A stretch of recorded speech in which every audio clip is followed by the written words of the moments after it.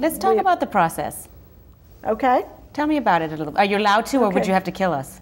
Well, we, we like you. Can you so give us a little- Just, Just a little bit of information. insight. What is public information? We will. That's give you. good. Give us the right. public information. Public information. the, the, the main part of our process is that we completely cook the bagel in the boiling water. Typically, a bagel is only in the water for about 60 seconds to change the nature of the crust. Okay.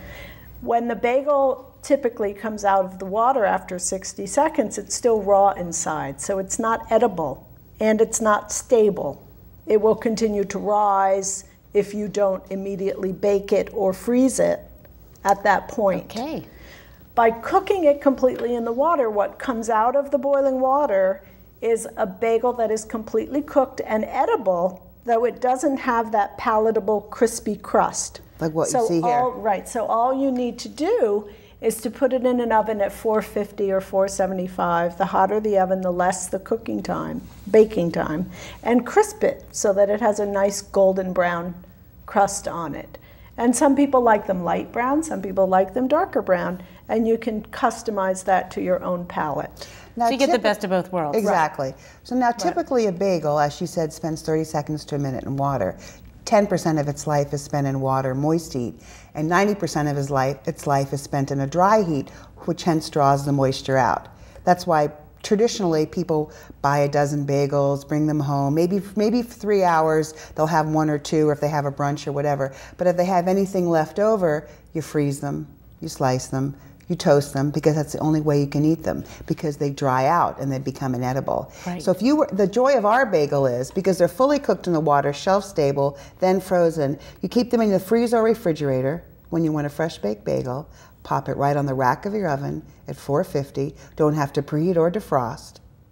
10 minutes. Wow. Fresh baked. So So, So- so, there's that piece, which is the joy of it. That's amazing. That's amazing in itself. Wholesalers must The other, that. well, not- yeah, food service people, yeah, Restaurants, yeah. totally, Right. totally. Coffee Delis in her, yeah, delis. exactly. Love it because two things. One, well, the couple things. One, food service people, in-store bakeries or what have you. You always have to deal with wastage with bagels, and Mm-hmm. they and they get stale quickly. So you have to make your bagel chips, you have to make your Mm. bread puddings or whatever it might be. And some of them do that. But our bagels, you can bake them fresh throughout the day, so you don't have to have On the demand. wastage. On demand, exactly. That's a treat in itself. However, you can also take our bagel, bake it, and put it up against another bagel that's a different manufacturing process, spending most of its time in a dry oven. And our bagels, bar none, will stay. I just I had a bagel that that was baked one morning at about 10 or 11 o'clock, and I had it over 36 hours later, and it was still moist. wow. It's the moist heat that does it. So really our product, because of how it's manufactured, the health benefit, the texture, the artisan type experience or what have you, does not exist in the marketplace except for our bread products. Wow. It does not exist. It's huge. It's revolutionary. Which is why you just won the Innovation Award. Innovative Product of the Year for 2010 by Bakery na- Management across the Magazine. nation. National Correct. award. It's huge. We just came back from a food show up in Toronto, a grocery innovation show up in Toronto. They loved us. They loved our product. I can't tell you how the Canadians loved our product. It was great. Does because they know it doesn't exist. So we have lots of following up that's happening with brokers and distributors and That's in so fact exciting. it is very exciting. This year, uh, this month actually, we've been working with a distributor from Japan for the last year and a half. Is going to place an order for distribution in Japan, other parts of the Orient. We met a Chinese man, a wonderful man in, from Calgary in Canada, who works. He brings Canadian products to Taiwan and Taiwanese products to Canada. Loved the product at the at the show in Toronto. Wow. Wants to bring our products to Taiwan. Um, so we have like- Amazing. We're on the verge of some huge things I, about I don't to know happen. about you, Jon, but I'm hungry. Okay. Can we start eating a little bit? Absolutely. Okay, while we're eating, sorry, folks at home, while we're eating, you can tell the folks at home where they can find your bagels Okay. back home in Charlottesville. I don't know if the camera can see these, but these are our bagelini sandwiches. Now, this is something that we make for the Charlottesville City Market every Saturday. At the Bagel Ladies Uh, Cafe. the Bagel Ladies Cafe at the Charlottesville City Market. We have a variety of bagelini sandwiches, fresh grilled on the panini press, Mm. which we've nicknamed the Bagelini Press. so we take our bagels, which are the great zero glucose wheat-based bread product and assemble egg and cheese sandwiches with you know all kinds of wonderful different flavors or veggie burgers and make bagelinis. So if you'd like, I can cut these and we can share them. I like. We also have uh, fresh baked bagels and we have some cream cheeses. So one of the places where you can enjoy our product is every Saturday, now from eight until two, in downtown Charlottesville at the farmers market, city market. At you can also Ladies purchase our bagels in the boxes here that we see um, at Rebecca's Integral Yoga, Foods of All Nations, Greenwood Market out in Crozet, Whole Whole Foods, Foods in the bakery freezer. in the bakery freezer. Yeah. Right, the bakery Okay. freezer at Whole Foods. Did I get them all? Yeah, you got them all. We're, we're a lot of places around the country now. Yeah. And in mom and pop uh, coffee shops, and we're at um, we're at the, we're at Martha Jefferson.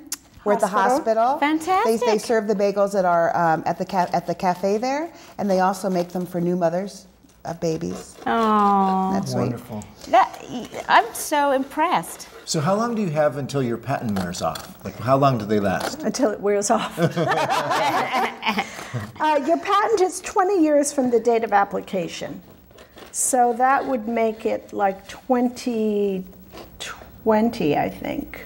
So I can I like can that. imagine that, you you better So- get all your all your uh, sales in before then because Well, w- what we're hoping for is um, we are, um, you know, always looking for investment because we need to grow to the next step. And our next step that we're growing toward is an acquisition. Because of what we have and because of our innovation award that we just received, uh, we think the Pillsbury Doughboy will come a knocking real soon, or somebody like that, because a company like that has the infrastructure uh, to spread this product all over the globe. We don't have that ability. We are creative people and we're entrepreneurial and we are just That's making smart. sure that the product is ready to hand off to the proper partner who can take this where we can't take it. Very smart. Very smart. So yeah. Yeah, it's wonderful.